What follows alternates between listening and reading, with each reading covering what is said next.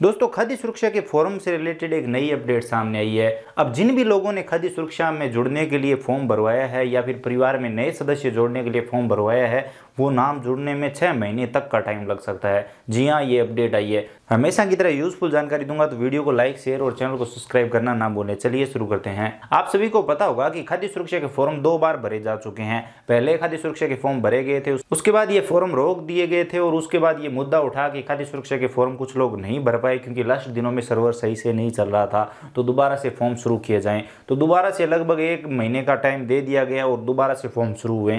तो इस तरह से खाद्य सुरक्षा के काफ़ी फॉर्म भरे गए हैं और अभी उन फॉर्मों की जाँच नहीं हो रही है। अब कहा जा रहा है कि कई जिलों में फॉर्म फ़र्स्ट लेवल पर अप्रूव हो रहे हैं, लेकिन कई जिलों में फॉर्मों को देखा ही नहीं जा रहा है, यानी कि फॉर्मों की कोई जाँच शुरू नहीं हुई है। तो अभी दैनिक भास्कर में एक अपडेट आई है, जिसमें कहा गया है कि अगर सब कुछ ऐसे ही रहा तो जो नए नाम जुड़ने हैं खाद्य सुरक्षा में, उनमें छह महीने तक का टाइम लग जाएगा।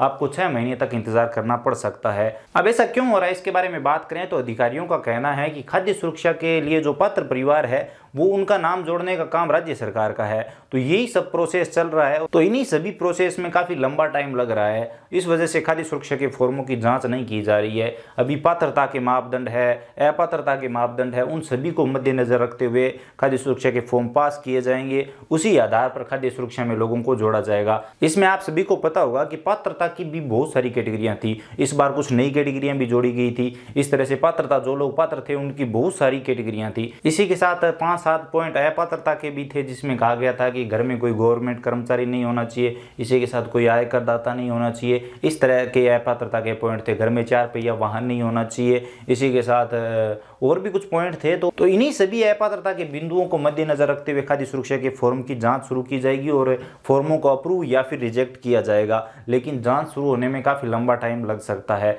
तो दोस्तों, यहाँ पर आप सभी से यही कहना चाहता हूँ कि अगर आपने खाद्य सुरक्षा का फॉर्म भरवा रखा है तो अभी आपको लंबा इंतज़ार करना पड़ सकता है, क्योंकि अभी इसका कुछ पता नहीं है कि खाद्य सुरक्षा के फॉर्म की जाँच कब से शुरू होगी। खाद्य सुरक्षा के फॉर्म की जाँच शुरू होगी, तभी पता चल पाएगा कि आपके फॉर्म में कोई कमी है या फिर वो फॉर्म अप्रूव होता है। अगर कमी होगी तो फॉर्म सेंड बैक होगा, जिसमें आपको पंद्रह बीस दिनों का टाइम मिलेगा। उन दिनों में आप अपने फॉर्म की जो भी कमी होगी वो सुधार कर पाएँगे और अगर आपका फॉर्म सही रहेगा तो फॉर्म अप्रूव हो जाएगा, उसके बाद आप गेहूँ ले सकते हैं। तो आज की वीडियो में बस इतना ही। उम्मीद करता हूँ आपको जानकारी समझ में आई होगी। बाकी आपकी इसके बारे में क्या राय है, आप क्या सोचते हो और आपके ज़िले में क्या फ़र्स्ट लेवल पर फॉर्म अप्रूव हुए हैं या नहीं, कमेंट सेक्शन में ज़रूर बताइए। अगर वीडियो में कुछ भी पसंद आया हो तो वीडियो को लाइक करिए, अपने दोस्तों के साथ शेयर करिए, ताकि उन्हें भी इस जानकारी के बारे में पता चल सके। अगर ज़्यादा लोगों तक ये बात पहुँचती है तो कुछ हो सकता है। बाकी अगर आप चैनल पर नए हो तो चैनल को सब्सक्राइब करिए बेलाइकन प्रेस करिए ताकि आगे हम जो भी वीडियो अपलोड करें, उसका नोटिफिकेशन आपको सबसे पहले मिल सके। इसी के साथ अगर आपके मन में कोई भी सवाल या सुझाव है या फिर आप हमसे कुछ भी जानना चाहते हो